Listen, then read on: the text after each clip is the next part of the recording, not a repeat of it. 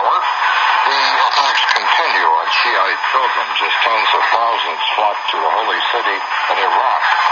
Iran has fired a new rocket that is